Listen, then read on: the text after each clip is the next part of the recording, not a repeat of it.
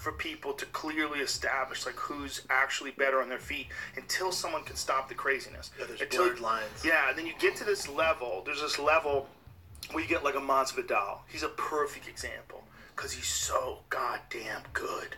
He's so smart, he's so technical, and he finds these openings that maybe other people don't see, or maybe they can't get to where those openings are, and he finds those. So you think you're doing good.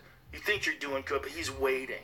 He's waiting for the moment where he sees this spot that he's been looking at, and boom! Yep. He cracks Darren Till with that step in left hook and puts him out. You put a uh. fucking animal like Darren Till Agreed. out cold. Come on, man. I, I, I think John's one of those guys too. Like we kind of, because of his last few opponents.